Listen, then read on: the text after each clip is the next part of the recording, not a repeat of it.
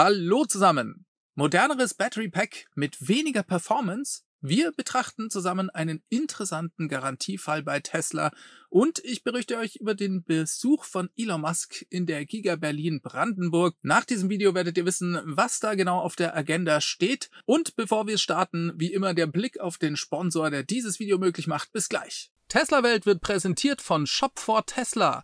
Nachhaltiges Zubehör für eure Autos. Hier gibt es Gummimatten, Schutzblenden, Performance-Pedale und noch vieles mehr. Alles, was man so für seinen Tesla eben braucht und bekommt jetzt 5% auf alle Produkte. Link dazu findet ihr wie immer unten in der Beschreibung. Schaut da gerne mal vorbei. Ja, hallo und herzlich willkommen zu einer neuen Ausgabe der Tesla Welt. Mein Name ist David und wir schauen uns wie immer die Tesla News an. Ausnahmsweise schauen wir uns mal News zu SpaceX an, denn hier passiert gerade wieder so einiges. Das Starship steht zum Flug bereit. So hier ein Post auf X von SpaceX. Der dritte Flugtest von Starship könnte bereits am 14. März starten, sofern die Behörden ihre Zustimmung geben. So schreibt SpaceX auf seiner Webseite. Elon sagt auf X dazu, Ende der Woche wird's losgehen, wetterabhängig. Also, mit ein bisschen Vorbehalt, das können wir auf der Webseite von SpaceX nachlesen. Da steht, der dritte Flugtest soll auf den Erkenntnissen der vorangegangenen Flüge aufbauen und eine Reihe ehrgeiziger Ziele verfolgen. Darunter die erfolgreiche Aufstiegsverbrennung beider Stufen das Öffnen und Schließen der Starship-Nutzlasttür, eine Demonstration des Treibstofftransfers während der Auslaufphase in der oberen Stufe, das einmalige Wiederzünden eines Raptor-Triebwerks im Weltraum und ein kontrollierter Wiedereintritt von Starship. Außerdem wird eine neue Flugbahn geflogen, auf der Starship im Indischen Ozean landen soll. Diese neue Flugbahn ermöglicht es uns, neue Techniken wie das Zünden von Triebwerken im Weltraum zu erproben und gleichzeitig die öffentliche Sicherheit zu maximieren. Ja, es wird also mal wieder atemberaubend spannend bei SpaceX. Verpasst diesen Start nicht. Das wird ein weiterer Meilenstein in der Geschichte der Raumfahrt.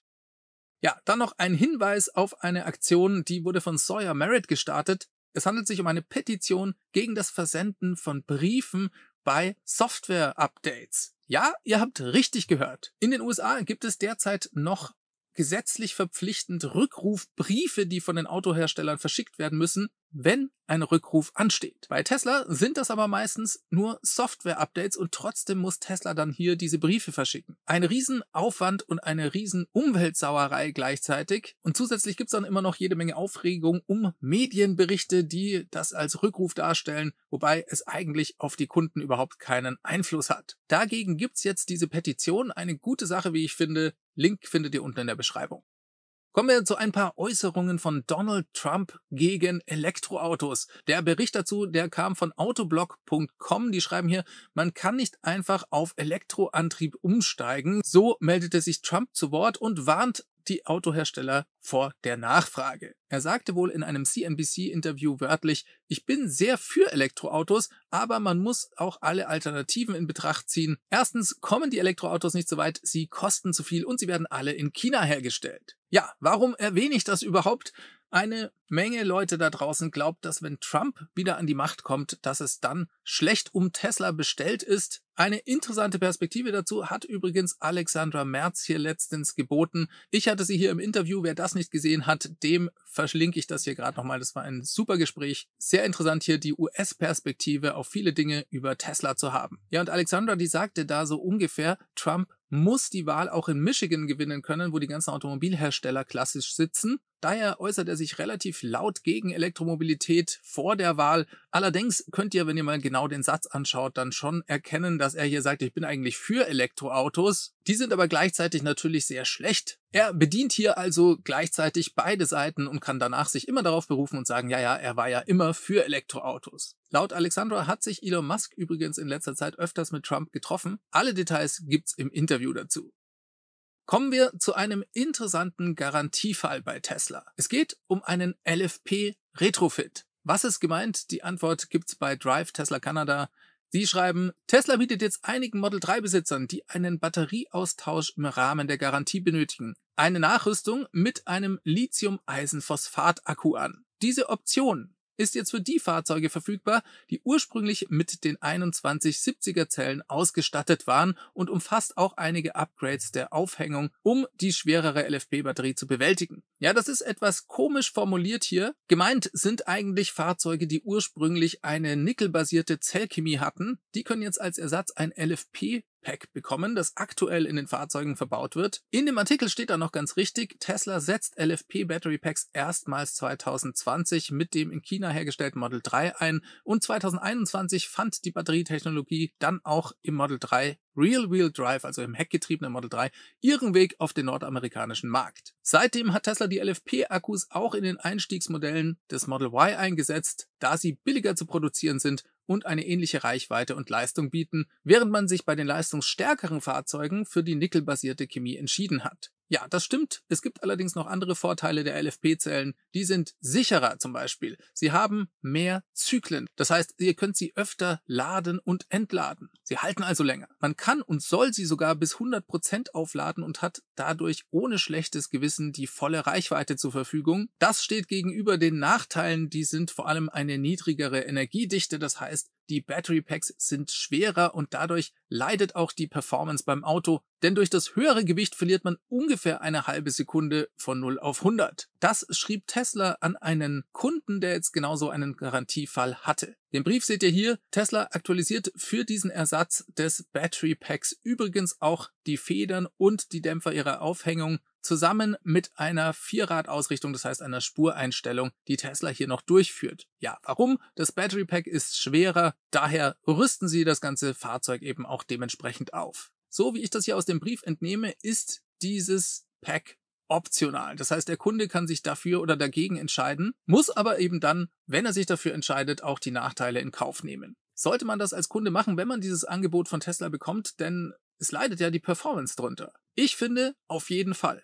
Denn man erhält ein brandaktuelles Battery Pack mit der aktuellen LFP-Technologie. Und klar ist das ärgerlich, wenn man bei der Beschleunigung ein bisschen Abstriche machen muss. Allerdings überwiegen für mich hier die Vorteile ganz eindeutig. Allein das auf 100% Laden finde ich derart gut, dass ich hier das LFP-Pack klar im Vorteil sehe. Länger hält es auch noch, denn die Zyklenfestigkeit, die ist hier auch besser. Ich denke, das kann man also ohne schlechtes Gewissen machen. Ihr könnt mir aber gerne eure Meinung hier unten in die Kommentare schreiben. Wie seht ihr das? Würdet ihr diesen Trade-off eingehen?